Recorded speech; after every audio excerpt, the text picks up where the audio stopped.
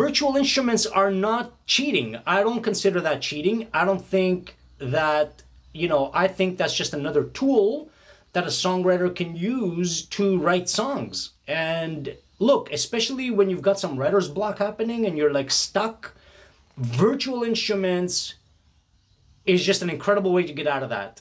You know, if you play another instrument, that's amazing. So let's say you're playing guitar and you know you've got a piano, I've got a keyboard uh, slash piano in the other room. I play it.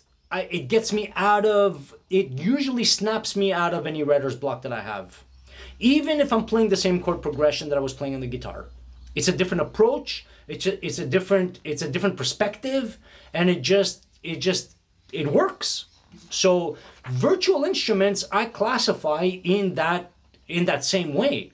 You know, it's just an amazing way to get over writer's block, or even if you don't have writer's block, it's an amazing way to get new inspiration, new fresh ideas.